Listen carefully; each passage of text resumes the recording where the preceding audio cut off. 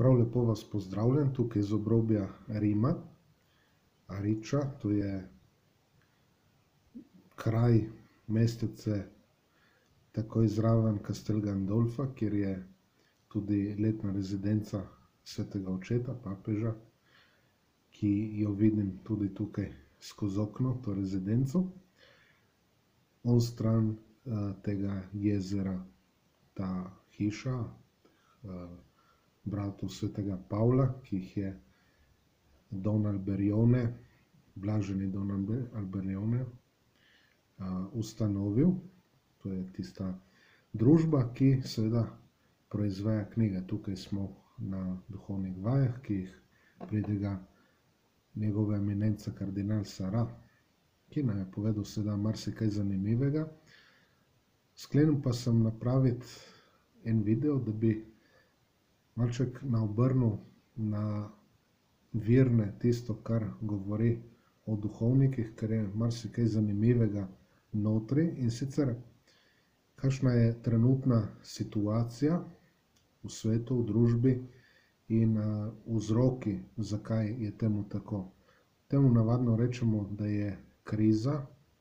Kriza je grška beseda, ki bo tudi kasneje omenjena in večkrat smo tudi o njej že govorili, bodisi v pridigah pa tudi mislim, da že v teh videih, ki jih objavljam glede te snovi, ki jo mi obdelujemo tudi v gimnaziji, v drugem letniku gimnazije. Skratka, kriza, ki nikdar ni, to nam tudi dokazujejo strokovnjaki in tako mislim z našega področja. Motili bi se, če bi rekli, da je to seveda samo ekonomska kriza in ne moremo samo z ekonomijo reševati teh stvari, ki so prej seveda moralne narave, ampak moralna narava tudi še ni dovolj, moramo reči, da so duhovne narave te zadeve. Torej pomanjkanje vere in gorečnosti, to nam pravi tudi kardinal Sara, da je to vzrok. Če sveti Janez Zlatoust ali Krizostom o duhovnikih pravi, da bi ti mogli svetiti bolj kot sonce, in bomo videli, kaj to pomeni, pomeni, da tudi kristjan v družbi bi moral svetiti bolj kot sonce, ker nam pravi v Matejevem evangeliju naš Gospod Jezus Kristus, da naj tako sveti naša luč, da bodo videli ljudje dobra dela in slavili Očeta, ki v nebesih. Se pravi, iz naših del morajo spoznati božji obstoj oziroma to, da imamo mi en lep odnos z Bogom. In seveda, če imamo pomanjkanje vere, tega odnosa ne more biti. Torej, kadar govorimo, omenil je Brezmadežno, in ko govorimo o Kristusu, našem Gospodu Jezusu Kristusu, res, da duhovnik je Kristus na zemlji in pravi tudi v svojih knjigah in tako, zlasti v tej Moč tihote, da ne samo altar, ampak ipse Christus je duhovnik, se pravi sam Kristus, ne, ampak tudi verniki, pravzaprav kristjani morajo peljati ljudi, voditi h Kristusu. Ne more biti drugače, ne, seveda duhovnik kot pastir je tisti, ki deluje v osebi Kristusa, velikega duhovnika, torej je v tem primeru tudi res, da je sam Kristus, ki deluje in tako dalje, ni duhovnik kot človek in tako, ne, to bi bilo seveda zmotno prepričanje, ampak po njem deluje Kristus, ne samo to, ampak sam Kristus nam daje, kar nam daje, tudi kadar duhovnik pri maši bere zlasti evangelij in tako govori Kristus sam, ne. Pa tudi drugo, saj božja beseda je ne samo Sveto pismo, kot vemo, ampak tudi izročilo in konec koncev tudi je ogromno Svetega pisma poleg izročila tudi v samem obredju noter v teh besedilih. Gremo na Brezmadežno, Marija brez madeža spočeta, kjer moramo tudi gledati to v luči Kristusa, se pravi, ona bo mati pravega brezmadežnega, ne, kot lepo pove tudi angel gospodov, se pravi odseva tega pravega brezmadežnega. Tako da nekako mora biti prav čisto to steklo, ne? kot lepo pravi ena pesem, stara božična slovenska, da je kakor uh, glaš, skozi katerega posije ne? to sonce milosti, torej sveti duh sam, ne tretja božja oseba. In potem pride seveda uh, božji sin na ta svet.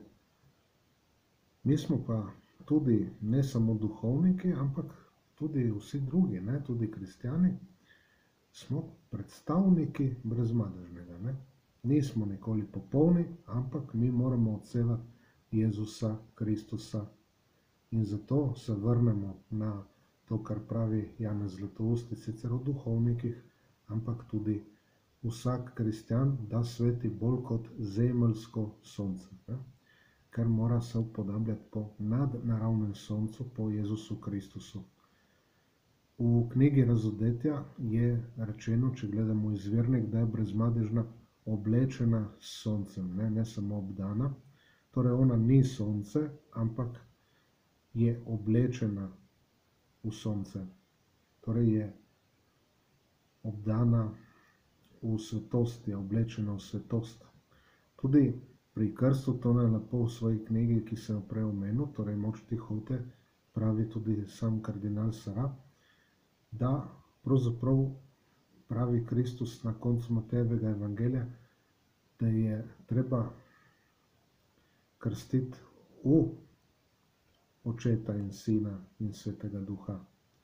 Ne, v, ne samo v imenu očeta in sina in svetega duha, ampak v ime Očeta in Sina in Svetega Duha, torej v njih same um, nekako potopiti tega novokrščenca. In zato vsak kristjan je pravzaprav oblečen v Boga in je torej oblečen v svetost. Ne? To moramo vedeti in uh, biti vedno prepričani. Tudi ko pridemo v crkvu, ne, tudi krst seveda se začne pri vhodu v crkvu, ne, ampak ko pridemo v crkvu, imamo uh, se pravi blagoslovljeno vodo, zato da bi se spomnili tega, da smo bili krščeni, da smo bili s Kristusom pokopani v smrt, da bi potem z njim ustali, ampak tudi to, da smo oblečeni v svetost, torej da moramo tudi mi svetiti, ne? da smo oblikovani oziroma se moramo oblikovati po tem soncu pravičnosti, ne? ki je sam Jezus Kristus, to nadnaravno sonce.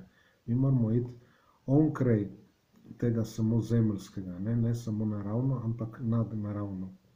Torej, kot da bi oblekli tako pelerino, ki povsem odseva sončne žarke, v tem primeru Kristusove žarke. In se to naj tako sveti ta naša luč. Sveti Pavel govori v prvem pismu Korinčanom o zrcalu in pravi, kako hodimo v veri in ne v gledanju da gledamo kot preko zrcala, da ne vidimo prav popolno.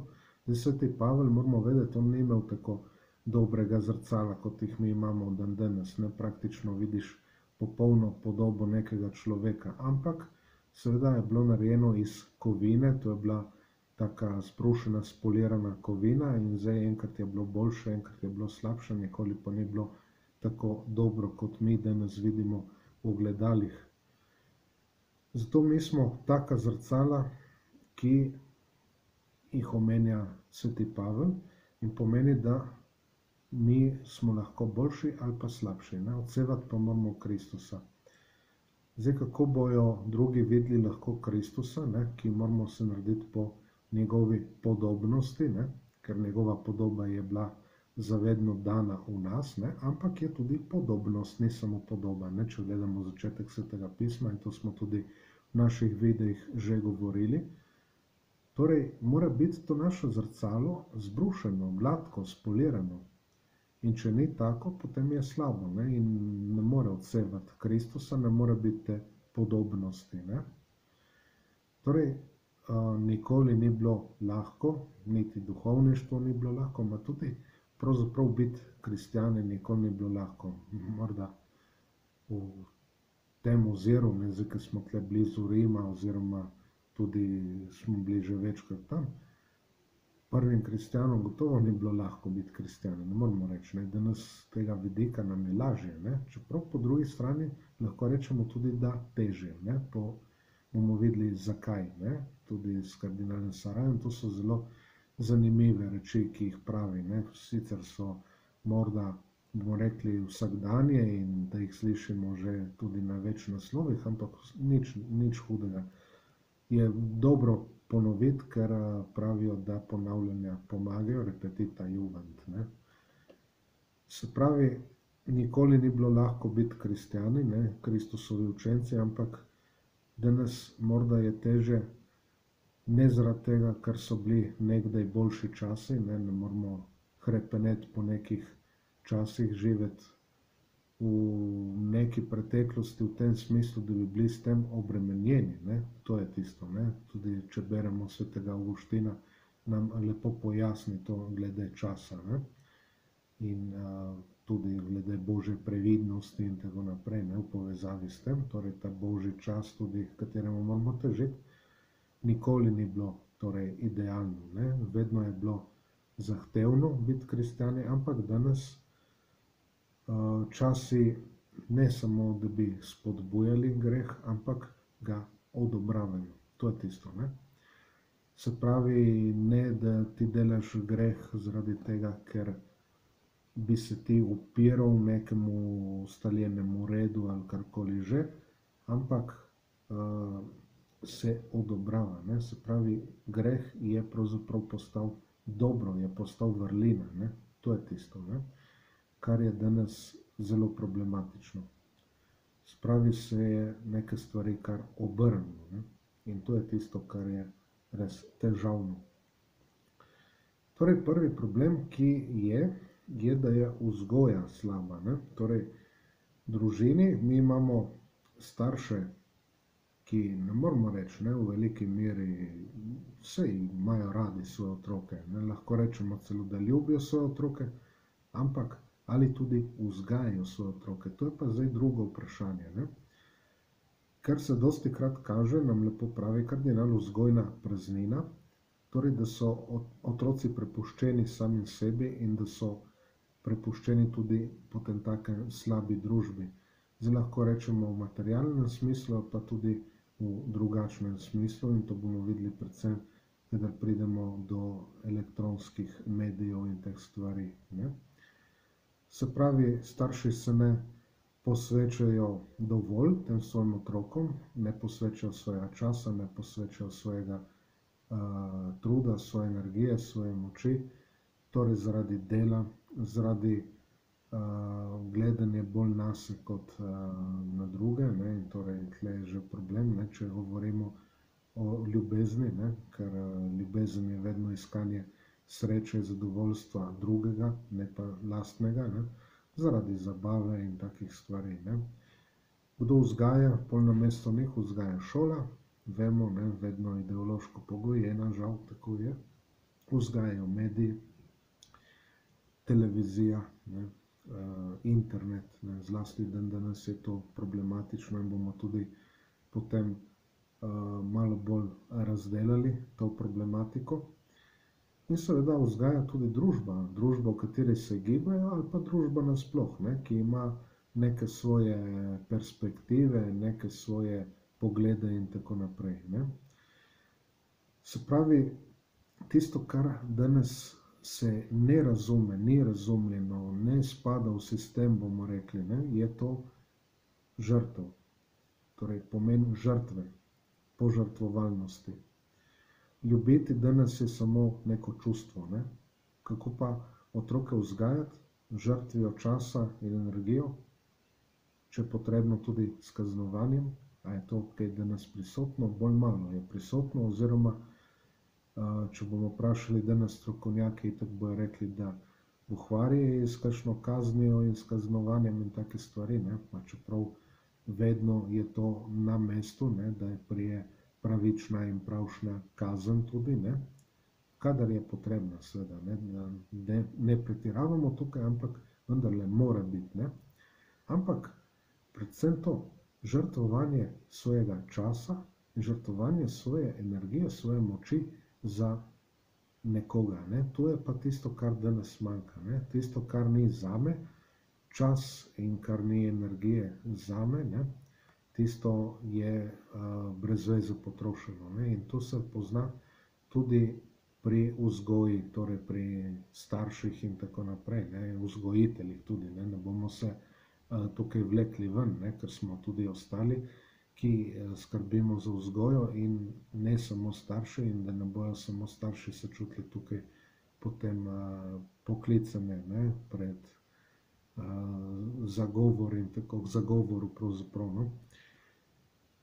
Upam, da tukaj ne bo kdo se čutil užaljenega, ne, ampak dajmo si priznati neke stvari, ne, ki pač veljajo, tako je. Kdo bo nadomestil mojo vzgojo, kot starša, nobeden ne more. Ne? Se pravi, jaz kot duhovnik ne, ne morem vaše nadomestiti ne, vzgoje, ampak morate vi dati tisto vzgojo, ki je potrebna, pa ne samo za naravne stvari, za vrednote in tako dalje, ne, ampak tudi za nadnaravne vrednote. Ne. Torej, verska vzgoja. Kdo bo dal otrokom versko vzgojo, če ne njihovi starši? To mora dobiti doma. Kdo bo dal? mi lahko potem na podlagi te vzgoje še nekaj naredimo, morda predlagamo, da naredijo stopno naprej, da se sami potem potrudijo, ampak če tega nimajo, potem je to izredno težko nadomestiti, potem, kadar se odrasi. Ne? Torej, kdo bo to napravil? Starši morate versko tudi vzgajati, če vam to kaj pomeni.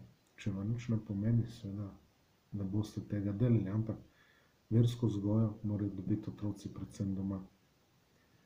Kje se bo naučil moliti, doma se bo naučil najlepše. Ne?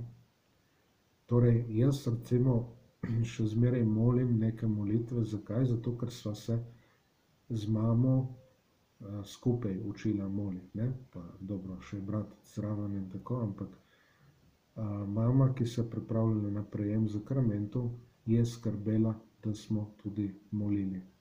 In ne bom nikoli rekel, da a, tudi te molitve, ki so dane v molitvenikih, te obrazce in te stvari, da so brez veze.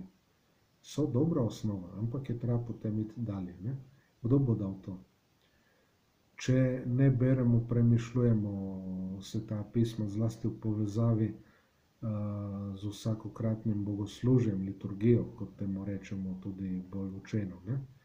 kdo bo naučil otroke to delati. Ne? Se pravi, da se pripravimo, zlasti na nedeljsko svetomašo, in da beremo, premišljujemo tisto, kar se bere pri tej sveti maši. Ne? Zlasti nedeljska je res pomembna, ker zaokroži en teden in začenja prihodni teden. Ne? Tisti, ki se pač začenja. Ne? Se pravi, je prvi dan v tednu nedelja, ne? ker zadnji dan je sobota, Kristus je pa ostal na prvi dan v tednu. Ne? Tudi če pa kateri je rekli drugače, ampak temu je tako. Torej, biti dobro vzgojeni tukaj na verskem področju, po drugi strani pa tudi v vrednoti požrtvovalnosti. Ne? kje bodo dobili uh, zgled ljubezni, če ne v družini.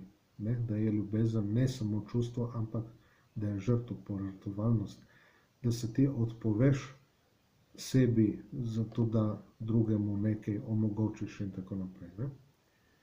Tudi v zadoščevanju, ne? da si ti nekaj napravil, neko škodo, da si ti napravil nekaj narobe in da je treba nekaj popraviti. Ne? Ni dovolj samo, da ti je žal ne? in da rečeš oprosti, v redu, oprosti, ampak škoda je bila tudi narejena. Ne? Se pravi, zabijemo žebelj v desko in ostanejo lukne, treba tudi isto zakrpati. Pa je zlomljena barvica, je treba kupiti drugo, ne? če se ne da popraviti in tako. Ne? Oziroma napraviti nekaj uh, zadosti uh, vrednega, bomo rekli, v zameno za tisto. Ne? torej tudi zadoščevanje. Ne? Zato, da um, bo drugemu bolje. Ne? Pa tudi meni, konc koncev. Ne? Kadar bom zadostil za nekaj, tudi kar nisem napravil, pa bi moral napraviti. Ne? ne samo, da bi mogel, ampak da bi moral napraviti. To so naše dolžnosti. Dolžnosti do Boga, do bližnjega in tako naprej. Torej, te stvari. Uh, v prilike usmiljene Samarijanu je Kristus rekel, da on plača. Ne? Se pravi, to je zadoščevanje. Ne? Ne da je on treba kaj, ampak plačam jaz. Ne? To je tisto, da bo nazaj grede, ne? če bo potrebno še kaj poplačal. Ne? Drugi problem, ki se kaže, zakaj je kriza, zato ker ni več nekega reda, ne? kar se je reklo včasih tudi ordo, ne? torej zato tudi benediktinci in tako so nastali, ne? ordo sancti benedikti ne? in je bila regula, ne?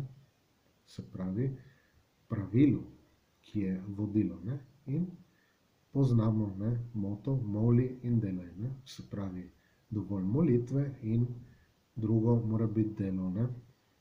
Ker če ne, je, bomo videli, zadeva problematična. Neki škof je bil zaprepaščen recimo nad redom, nam pravi tukaj, svojih uh, duhovnikov in urnikom njihovim, ne? ki so precej pozno stajali in tako dalje. Ne?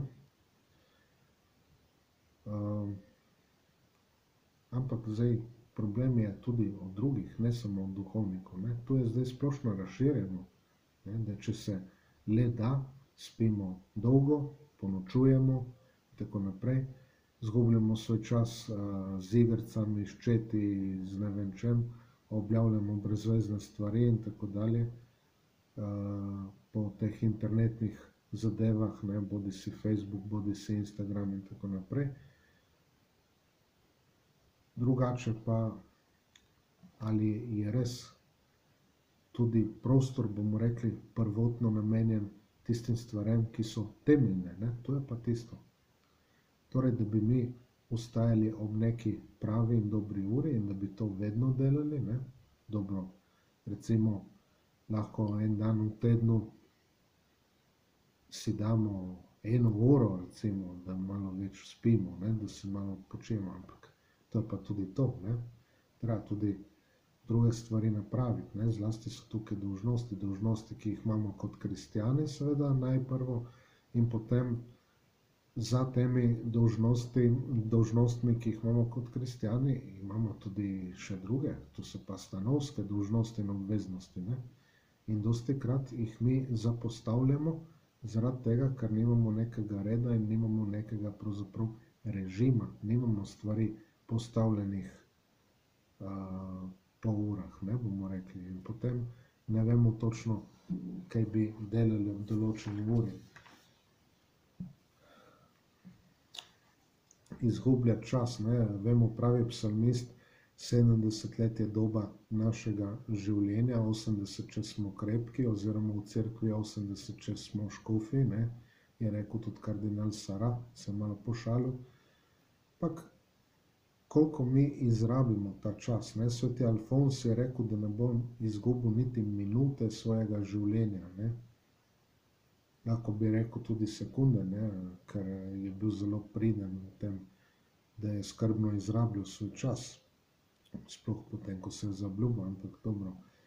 To so svetniki, sveti Alfons je svetnik, crkveni učitelj in tako.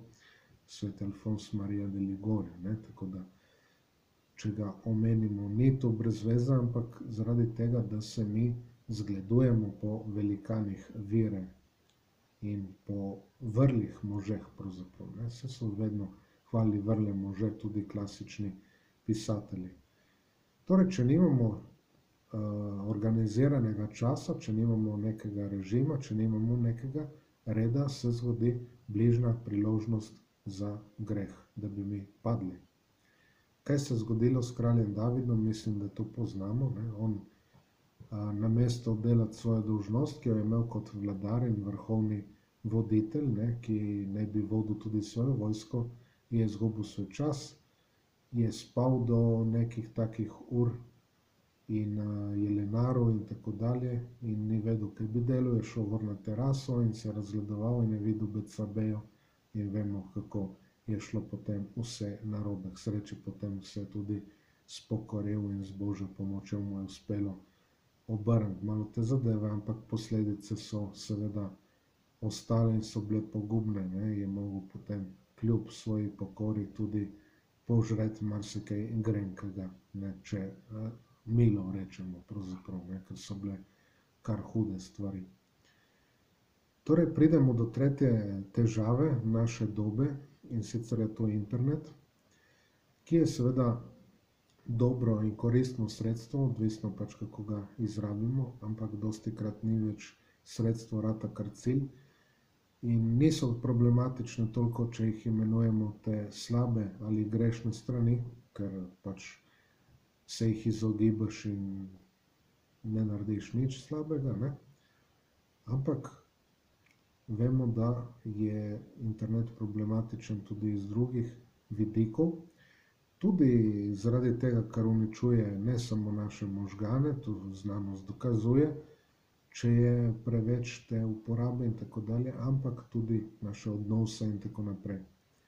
Tako da mi potrebujemo ne samo to, da nekaj vidimo ali pa slišimo, ne, ampak tudi potrebujemo lastno refleksijo v samoti, v tišini, zato da bi dosegli, kot on pravi tudi v knjigi Tihoto, ne, da bi nam bila dana tihota, pravzaprav, ker to je dar, da bi bili v zbranosti, ne, da mi malo zberemo te svoje misli. Ne.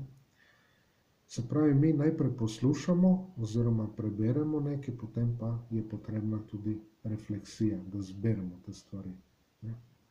Zdaj pri internetu ni te refleksije, ni te predelave, sicer boljše bi bilo itak, da bi zadeve bolj poslušali, kot pa brali, ker vemo, da oko je organ, ki razprši zadeve, medtem ko uho jih zbira, ne. zato tudi je boljše poslušati uh, Božjo besedo pri uh, bogoslužju, liturgiji, ne, poslušati, to je najbolj učinkovito, najboljše, ampak dobro, ne, tudi da kaj preberemo in moramo tudi brati kaj drugega, ne, zato pa govorimo o teh stvareh.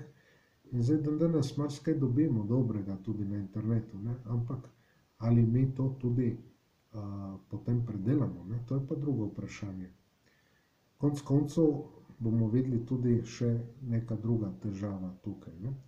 Skratka, mi moramo to predelati, potem pa napraviti neko abstrakcijo, moramo naš um uporabiti, da naredi neko presojo, da neke stvari, kot rečemo, stojko apliciramo ne, na naše življenje, da postavimo neko situacijo. Ne. Tukaj je presoja, je kriza, ne, ki smo že omenili to besedo. Spravi, mi moramo biti sposobni nekaj presoditi, napraviti nek koncept, neke stvari dati skupaj. Ne. Imamo tukaj metaforo hrane, to je omenil kardinal pravzaprav že prvi večer, tukaj v nedeljo, kjer imamo prvo pasivnost hranjenja, ne, ko se hranimo, pravzaprav smo pasivni, samo nekaj stavimo vase, ampak potem je pomembno, da to prebavimo in metaboliziramo. Ne. Vemo tudi, nutricionisti nam bojo povedali, kako pomembno je da se pravilno prehranjujemo, da dobimo dovolj vseh snovi, ki jih naše telo potrebuje. Ne. Podobno je tudi z informacijami in s temi zadevami, ne, ne predelujemo stvari, ne. predelovati tudi to, kar dobimo, ne, kar vidimo, kar poslušamo.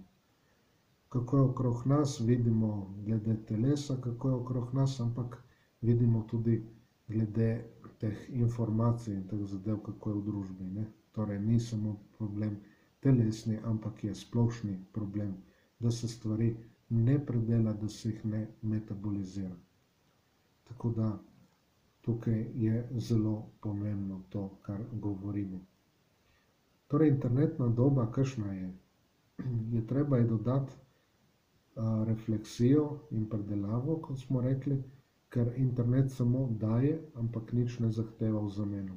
Torej, ne sme biti samo neka pridobitev informacij, ampak tudi predelava, prebava, presnova in mora biti presoja tudi, kot smo rekli, in neke vrste tudi sinteza in tudi, da postavimo stvari v svoje življenje.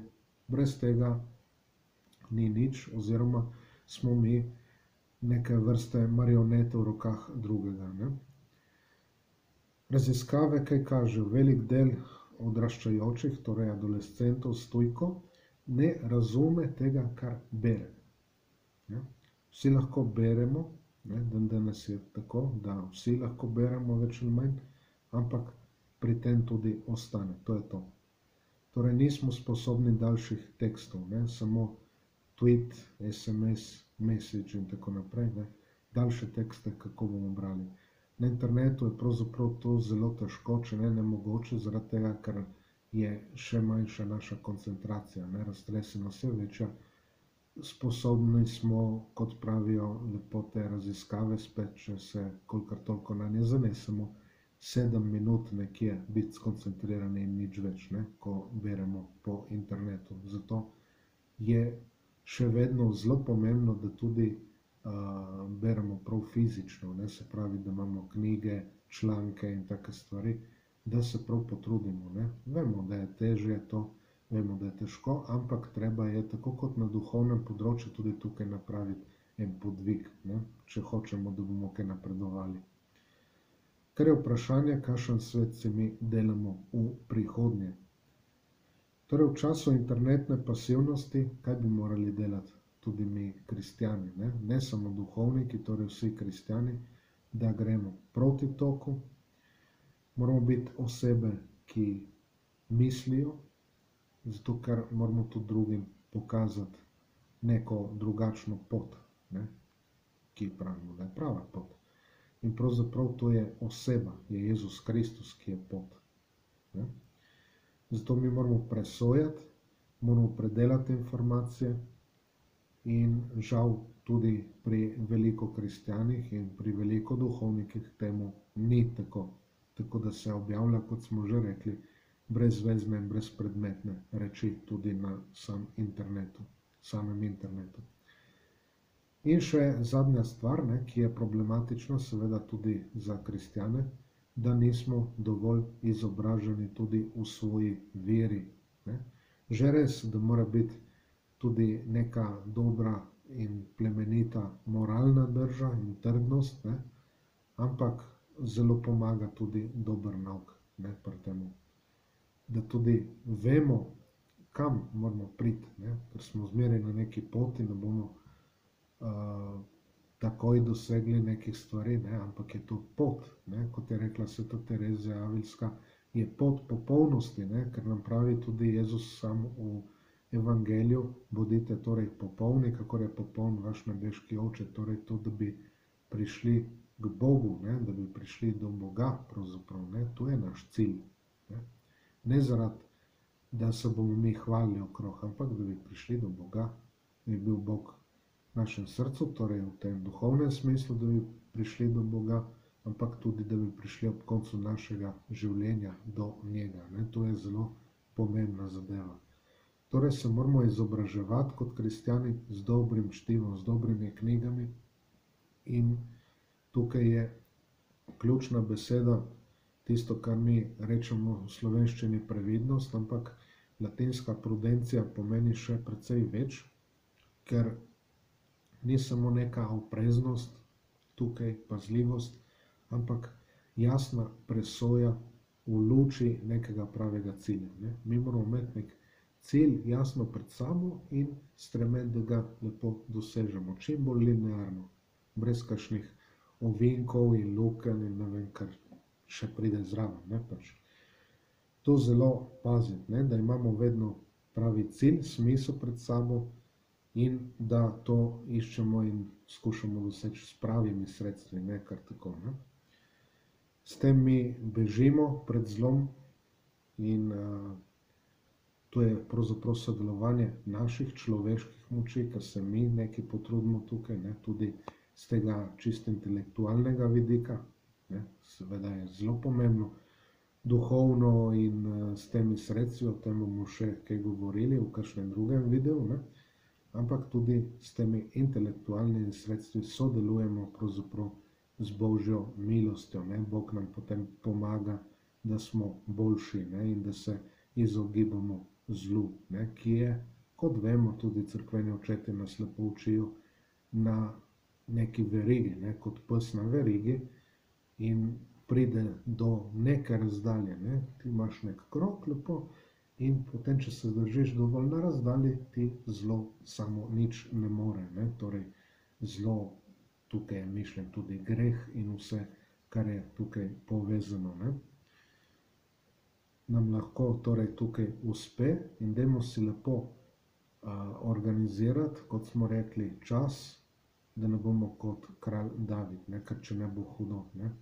Potem je kot da bi prišli v, bomo rekli, razsežnost oziroma tisto razdaljo, kjer nas zlo in greh lahko dosežeta. Ne? kar pa seveda ni dobro, ker uh, hodijo okrog kot rjoveč lev, nam pravi apostol, ki išče, koga bo bi požrl. Ne? Apostol Petra, ne? tukaj govori. Torej, prvak apostolov, pazite tukaj, ne? ustavite se mu pravi trdni v veri.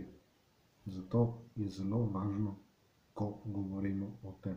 Torej, ne samo naravno, ampak tudi nadnaravno. In to naj bo vse. Držimo se torej trdno na tej poti in res dajmo svetiti čim bolj tudi drugim ljudem, da bodo videli luč na koncu tunela svoje življenja, ker mnogi tega ne vidijo. Amen. In vas lepo pozdravljam in vas blagoslavljam v imenu Očeta in Sina in Svetega Duha. Amen.